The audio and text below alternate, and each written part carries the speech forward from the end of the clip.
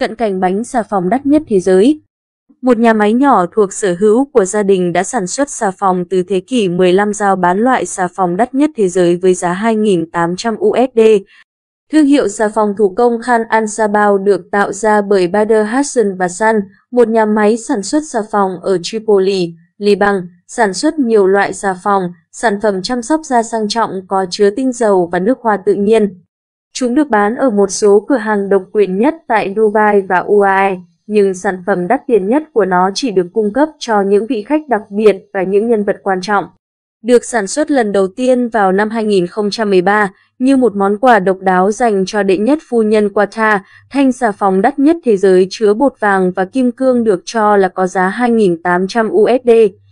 Thứ ban đầu trông giống như một miếng format đắt tiền, nay đã được Bader Hassan và Sun tinh chế.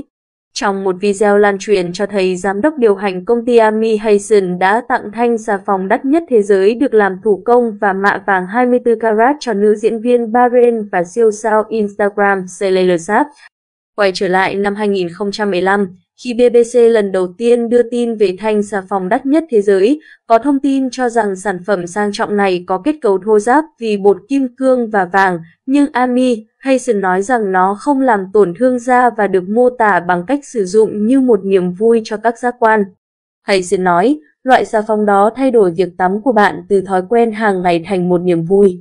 Nó không chỉ là loại xà phòng đắt nhất thế giới vì được làm bằng vàng và kim cương, mà nó thực sự là một thứ đặc biệt, có tác dụng tâm lý và tinh thần đối với con người.